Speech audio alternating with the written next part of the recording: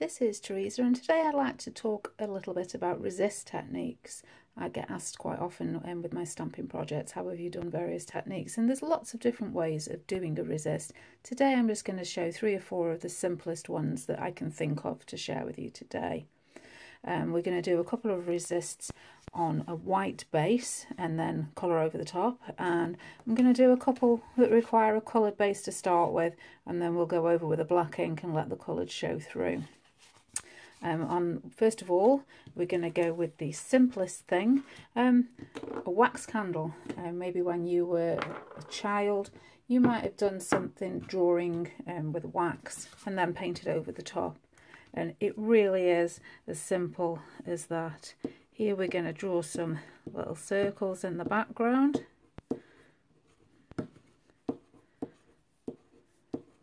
And then we're going to use a water-based ink. In this case, I'm going to use a distress ink to go over the top and the wax acts as a resist and allows the white design to show through. It really is as simple as that.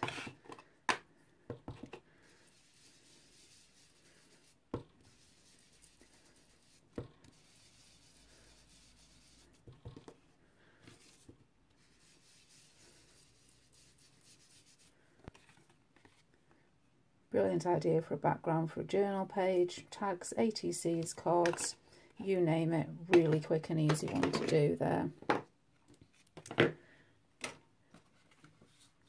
Next up, we're going to uh, use some matte medium. Now this is a clear liquid, a bit like a Mod Podge, can be used as a glue, as a sealant, and the fact that it is a sealant means that it's ideal for creating a barrier so that your ink doesn't come through. So I'm going to use uh, use it through a stencil.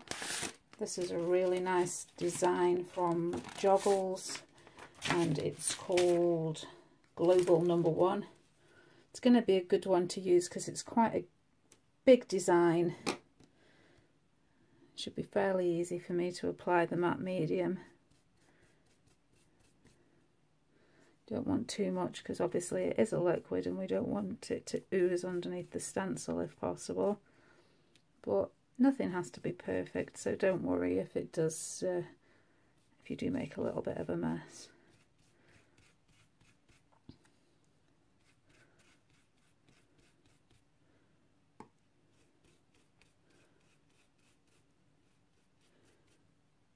You're not confident about holding your stencil in place, you could put it down with a bit of tape, masking tape, painter's tape, just holding it steady over the tag.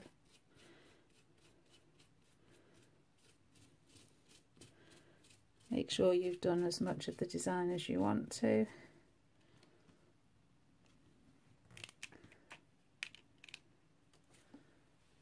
Take the stencil off.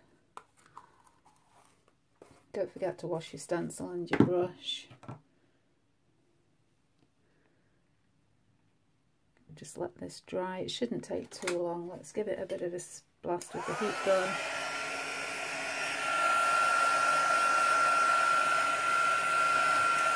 That looks to be about dry now.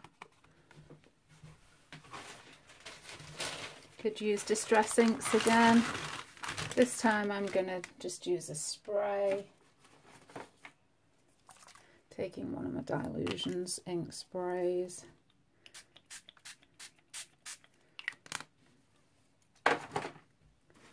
As you can see, the matte medium is acting as a resist. Let's just wipe off the excess there.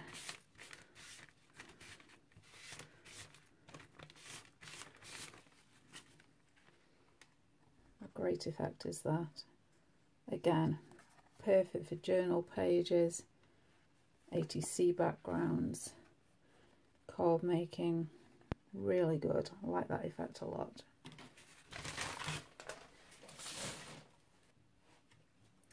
Next I'm going to do a technique on one of our pre-coloured tags. I've coloured this with Distress ink. Um, use mustard seed, carved pumpkin and candied apple. And I'm going to use some clear embossing powder held in place with Versamark ink. And once again, you could stamp an image. I'm going to use a stencil. Another excuse to use one of these lovely stencils from Joggles. This one's called Punchinella Trio. Three different designs on it. And I'm going to go for the dotted design. I like that one.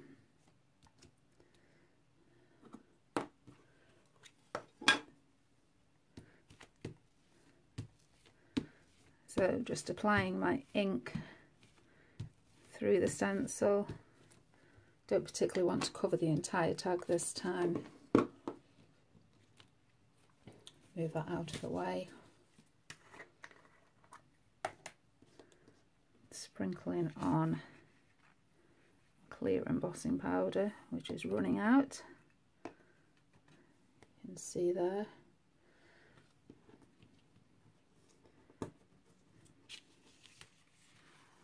Let's just put that away.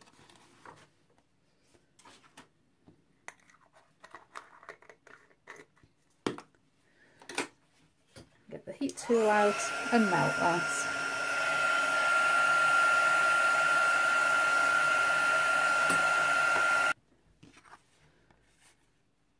There you can see the pattern embossed on there with the clear embossing powder.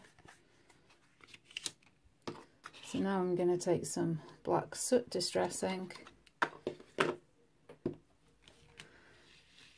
and go over the top. The embossing powder acts as a resist.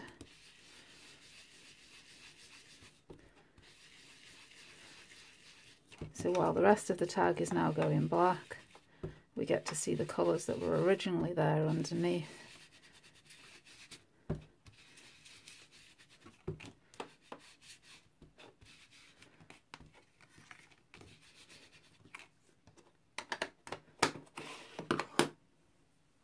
another really great technique there. Just take a damp cloth or a baby wipe, slightly get off any ink that may be sitting on top of that embossing powder.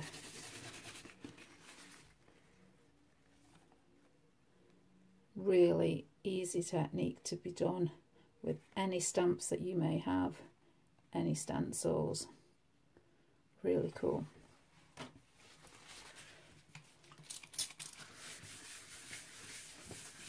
Just clear the workspace.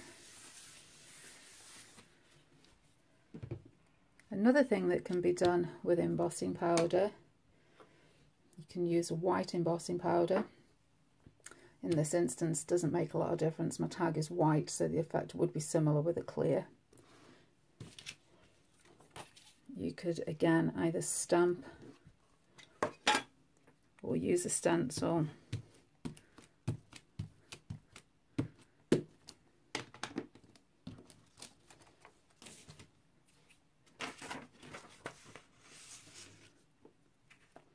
apply your Versamark ink and your embossing powder.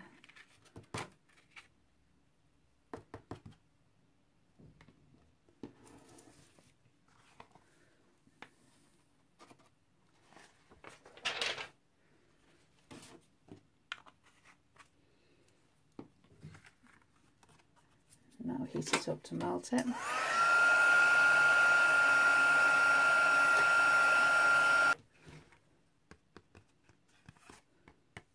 for that to cool down. And again, you could use uh, your sprays. I'm going to use ink. Which colour shall we choose this time? Let's have the Mermaid Lagoon. I like that one.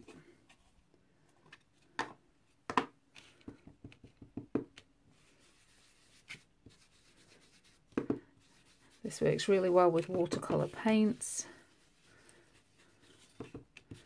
Brushes, anything like that. Embossing powder resists. And you get a really nice negative image.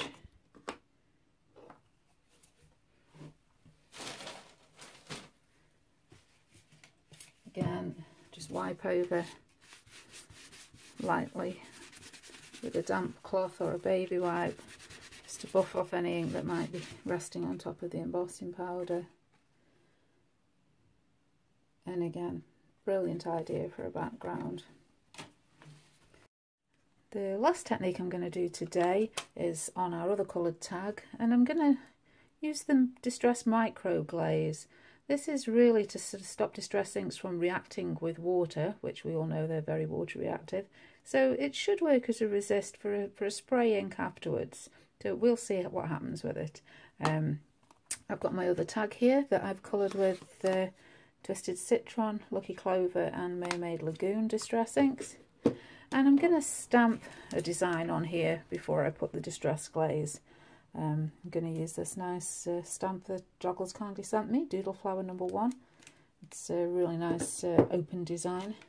And I'm going to use some archival ink, just in case um, any of the spray that I use afterwards uh, gets through the glaze.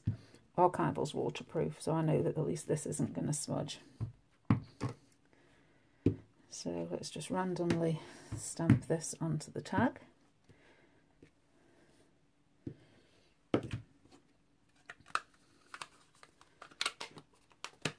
Let's pop that away.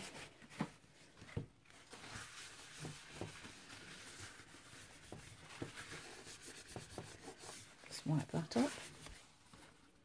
So the Distress Glaze is like a sort of paraffin wax uh, almost. I'm just going to apply that with my finger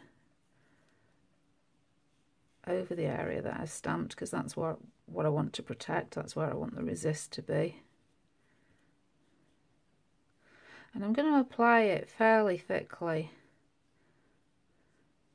No idea really what's going to happen with this.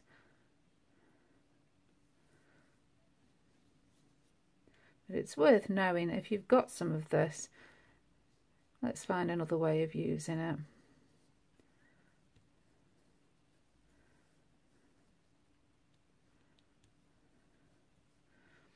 The instructions for the, the micro glaze tell you to use a dry paper towel to buff off the excess once you've applied it to the areas. In this instance I'm not going to buff the excess off because I'm applying a fair amount of spray ink on top.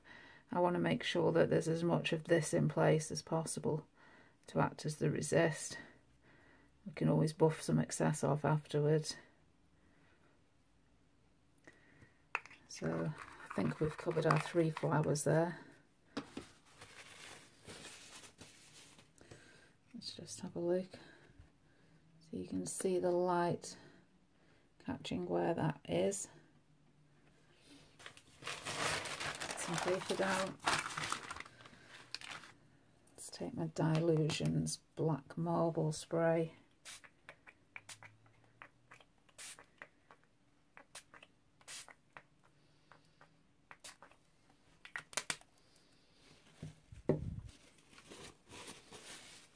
You can see,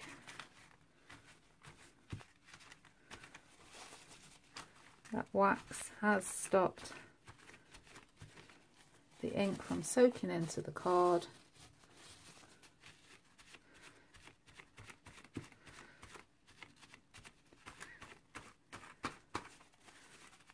All that's happened is it just beaded up on top of it.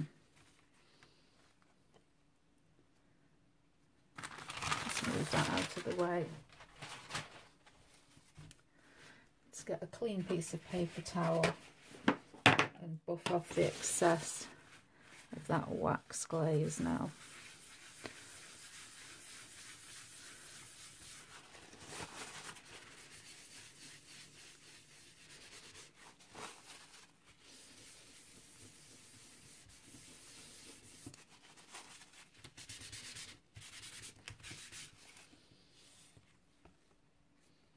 I really like that. Great effect. And so, yeah. Distress microglaze Apply it quite generously and it does work as a really good resist.